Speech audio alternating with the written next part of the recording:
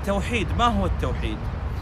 توحید توحید چیست هو إفراد الله سبحانه وتعالى بما يختص به من الربوبية والألوهية والأسماء والصفات.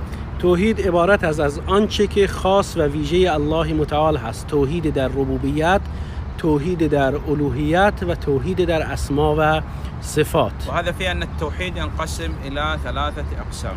بر این أساس توحید بر سه نوع هست. توحيد الربوبية هو إفراد الله سبحانه وتعالى بأفعاله.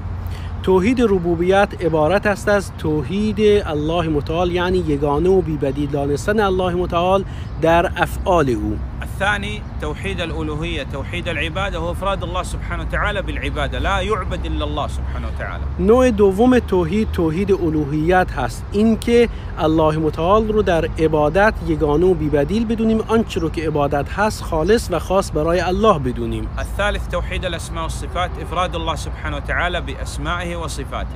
نوع سوم توحید توحید اسما و صفات هست که عبارت از یگانه و بیبدیل دونستن الله متعال در اسما و صفاتش بأن نثبت لله سبحانه وتعالى ما أثبت لنفسه وأثبت له رسوله صلى الله عليه وسلم.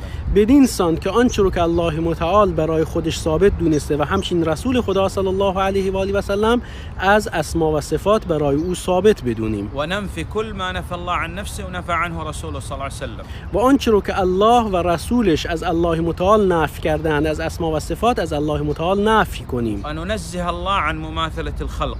و الله متعال رو از همانندی و شباهت به مخلوقاتش پاک و مبرا و منزه بدونیم. نقول آمنا وصدقنا وسلمنا ولا نسأل كيف ولما می‌گوییم که ایمان آوردیم و با آنچه که در کتاب و سنت شنیدیم باور داریم و دیگه نمیگیم که چطور و چگونه. نعم فهذا التوحيد وأنواع التوحيد الثلاثة والله أعلم این توحید و انواع استگانی توحید هست والله اعلم.